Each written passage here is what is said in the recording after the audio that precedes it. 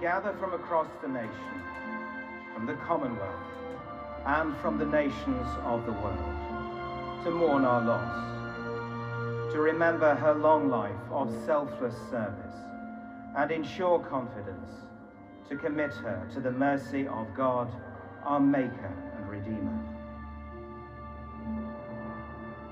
Service in life, hope in death.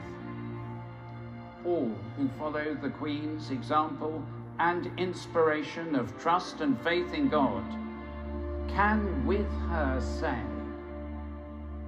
We will meet again. Let us commend to the mercy of God, our Maker and Redeemer, the soul of Elizabeth, our late Queen.